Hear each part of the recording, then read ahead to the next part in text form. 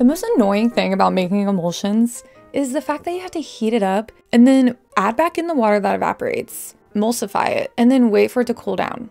This really discourages me from making lotions a lot of times because I just, I don't have patience. What if I told you there was an emulsifier that is actually really easy to use, it's beginner friendly, it makes emulsions so fast, and there literally is no heating required. And the emulsions this emulsifier makes can be thick enough to put in a jar, but also thin enough to add in a treatment pump, and of course you can still add it in a basic pump bottle. This emulsifier I'm going to be talking about is Gelmaker Nat. Gelmaker Nat is a cold process emulsifier. It can emulsify up to 35% oils.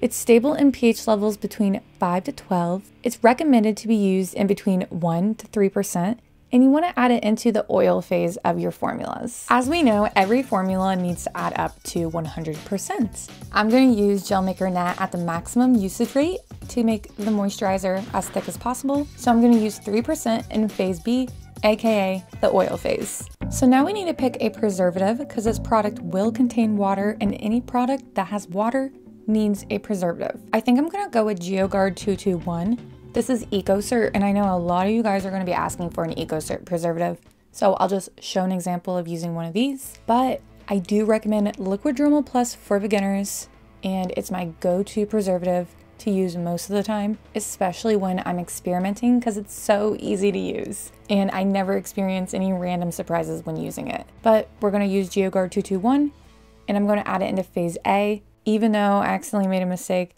it should actually go into phase B, but the formula will still work if you put it in phase A, and I'm going to use it at 1%. Next, let's choose a humectant. A humectant hydrates the skin. Think H humectant, H hydrate. That's how I remember it. Glycerin is my go-to humectant. It's so easy to find, inexpensive, great for beginners, but I also want to use Propanediol because I want tons of hydration. You don't need to use both. You can use just one if you want. I'm going to use a combination of two. You could use some aloe vera powder if you want. This does have a tendency to lower the pH, so keep that in mind if you're using it. You could use aloe vera extract if you don't want to worry about it messing with the pH. You could also add in some ultra low molecular weight hyaluronic acid. You can mix it in with the glycerin first before adding in the water. This will really help hydrate the skin and it's like a luxurious ingredient. Or you can use something like fancier, like ceramides. Ceramides are pretty pricey, but this rice ceramides from Brambleberry is pretty inexpensive. So have fun with it. I'm going to use 5% propanediol and 5% glycerin. You can use a humectant of your choice, but these two are great for beginners. Now we need to pick an emollient. This is a must. This will help moisturize the skin. So we could pick some kind of carrier oil like apricot kernel oil. If you have mature dry skin, you want to look for oils that are high in oleic acid. And if you have oily skin, you want to look for oils that are high in linoleic acid. You could also use oils like lemon peel oil to help brighten the skin. If you decide to use something like coconut oil that changes in viscosity in different temperatures, you'll need to keep in mind that this will affect the final viscosity of your moisturizer. It'll change from thicker to thinner in different temperatures. You also want to keep in mind how the oils feel. Something like castor oil might be way too heavy on the skin. So take some oils, Try them out on your skin, see what you think of them so you can get familiar with your oils and pick the oils that your skin likes. You can also use some butters. Keep in mind, butters are solid, so you will have to heat up phase B if you decide to add in some butters. So keep that in mind, you won't be able to add in any heat sensitive ingredients in there, but different butters have different textures and hardnesses. So again, apply them to the skin and see what you think. You could also use something called emollient esters. These are similar to like carrier oils, but they're much more light on the skin. They're used in moisturizers marketed as oil-free. And my favorite is caprylic capric triglyceride. And lastly, if you want to be super fancy, you can use things like silicones such as dimethicone. This will really add that luxurious feel to this moisturizer and it'll feel just like a store-bought moisturizer. I'm going to keep things simple and I'm using a total of 15% carrier oils. I'm using 5% rosehip seed oil, 5% macadamia nut oil, and then 5% papaya oil. Now let's pick an antioxidant. I do think an antioxidant is always necessary for your products. The most common is vitamin E, so that's what I'm gonna be using. If you check any moisturizer, most likely it contains vitamin E. So let's add that in there. I'm gonna be using 0.2% and again adding it into phase B because it's oil soluble. Now, a lot of you guys might be asking, what about vitamins? These are commonly found in our skincare products. DL-panthenol is probably the most popular. This is vitamin B5, and it's super easy to use for beginners, so that's what we're gonna use. Niacinamide is also super popular, but it is pH sensitive. It needs to be in a pH of 6, which makes it not so beginner friendly. And then there's also the famous vitamin C. This again is a bit more of an advanced ingredient. It's pH sensitive.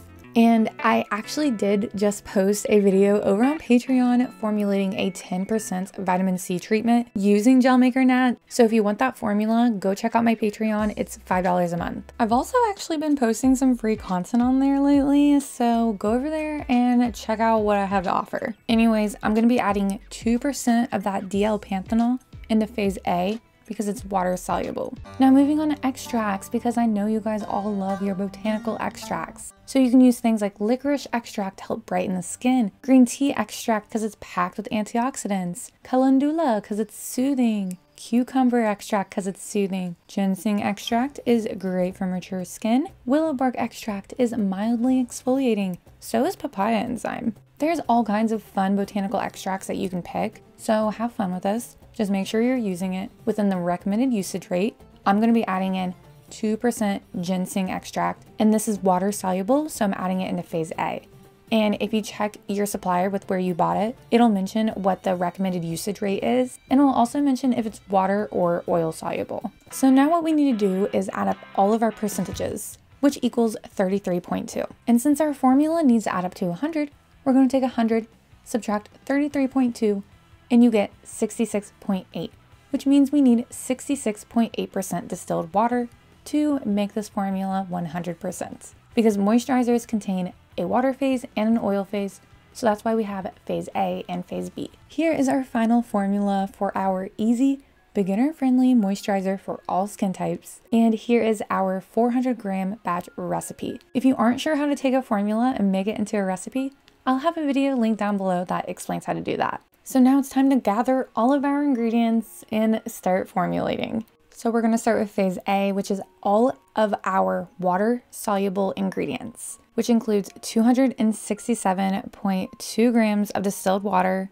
20 grams of glycerin, 20 grams of propanediol, 8 grams of DL-panthenol, mix that until it completely dissolves, and then 8 grams of ginseng extract. You can use whatever extract you want or just replace it with water, and then 4 grams of Geogard 221, but this is not water soluble. I should have put it in phase B. It still works out though because we're using an emulsifier, so it'll emulsify anyways, but if this was like a toner, Geogard 221 would not work. So I just kind of like tried to mix that in a little bit. Anyways, moving on to phase B, we're gonna grab a separate beaker, add in 12 grams of Gel Maker Nat, 60 grams total of our carrier oils. I'm using a blend of three different oils. And then I'm going to add in the vitamin E, 0.8 grams. And then just mix that all together. And then pour phase A, which is the water phase, and the phase B. And I don't know why I left the spatula in there. Don't do that. And then mix with your immersion blender. You need to use a high shear mixer. And there you go. You have an instant, beautiful beautiful moisturizer. I'm telling you guys, it is beautiful. Did I mention it's beautiful? It has such a gorgeous texture. It's great for all skin types. And it's like not too heavy, not too light. So let's check the pH. I'm gonna fill a small beaker with some distilled water, place my pH meter in, grab a small 25 milliliter beaker, and add a small amount of my moisturizer in. You don't wanna place the pH meter straight into your moisturizer. You wanna put it in a separate beaker so we don't contaminate the moisturizer with the pH meter. And if you want to watch a video all about pH, so you know everything about pH when it comes to formulating, which is super important when formulating, go watch my video all about pH. The moisturizer's natural pH was like 5.9, and you can just leave it there. Your skin's natural pH is between 4.5 and 5.5. I did lower mine a little bit, but that's all up to you. Anyways, let's talk about adding color. So first off, you might think of using mica powder. If you add the mica powder like at the very end of emulsifying the lotion, you'll get like this grittiness and the mica won't completely disperse. You could mix the mica powder with some oil and then add that in at the end. That's what this swatch is from, so that definitely works. It's best to just add the mica powder into the oil phase before you do the emulsion, or you could use these water soluble dyes. You can get them from Wholesale Supplies Plus. They used to be from Elements Bath & Body, but now they're like the same company. So I'm using a few of their different blues. This one I colored turquoise blue and I just did one drop. This one I colored sapphire blue and I did just one drop. And then this one I did coral blue and I did like one and a half drops. And then I just wanted to package them in different containers just to show you how it works in different packaging. This is a treatment pump with a very small opening and this moisturizer is thin enough to pump through that. So the annoying part is getting them in these bottles. You need to create your own like DIY piping bag or just use a piping bag. You can just fill a baggie with your lotion, cut off the corner, and make sure the opening is really small. Because if you get any lotion on like the bottle edging, it's gonna get clogged and you're gonna have issues getting the lotion in. It was such a pain. Plastic bottles are so much easier than glass bottles. Also, using a filling machine would probably be so much easier too. So if you have that, probably use that. But yeah, this is the final lotion. Let me know if you've ever used Gel Maker Nat and what you think of it.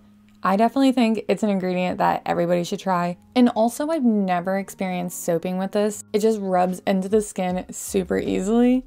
If you don't have patience like me and you hate making emulsions, you should definitely try this because it really encourages you to make lotions because it doesn't take forever. Also, let me know if you want to see me make other products using Gel Maker Nat because I have some other products in mind. All right, I'll talk to you guys later. Just know that you will never be notified through the comments or any random app that you want to give away from me. The only way you'll be contacted is through Instagram. So you do need an Instagram to enter. But I'm going to be giving away this 24 pack of clear two ounce jars. So here's what they look like. And these are glass as well. And it comes with 24 I'm not sure if I will be shipping it in this exact box. Just depends on whatever I can fit it in.